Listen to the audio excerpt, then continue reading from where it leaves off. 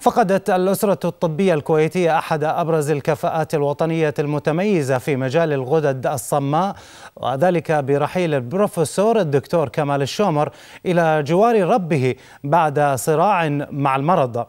ونعى وزير الصحة الدكتور باسل الصباح البروفيسور كمال قائلا خالص العزاء وعظيم المواساة لأسرة الزميل العزيز الأستاذ الدكتور كمال الشومر.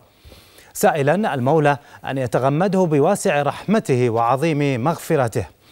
ويعد البروفيسور كمال من الكفاءات الكويتية البارزة والمتميزة في مجال الغدد الصماء ويعمل استشاريا ورئيس وحدة الغدد الصماء بمستشفى مبارك الكبير.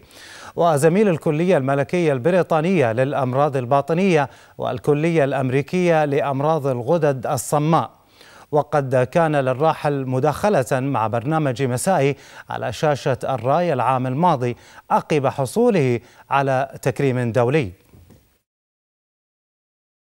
شرف كبير وأول شيء إنه يكون التكريم لك وأنت موجود في دولة الكويت أي. من دولة من من منظمة عالمية في الولايات المتحدة الأمريكية شعور يعني لا يوصف.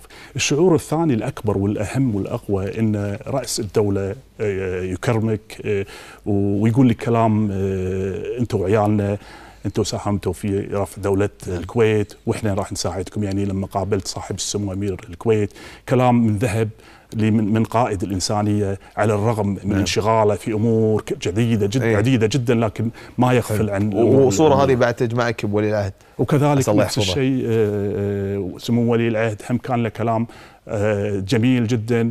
وقال على مدى السنين الماضية إحنا نسمع ونسمع في الدولة الفلانية ولكن الآن قاعد نسمع الكثير من الأطباء والمميزين في دولة الكويت وهذا حقيقة شرف للكويت.